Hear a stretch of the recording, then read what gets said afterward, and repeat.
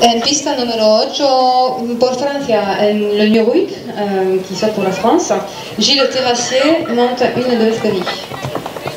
And Chica had 65.54 and 64 points in 54.15 seconds. Eh, Chica 65 puntos en 54 segundos y 15 centésimos.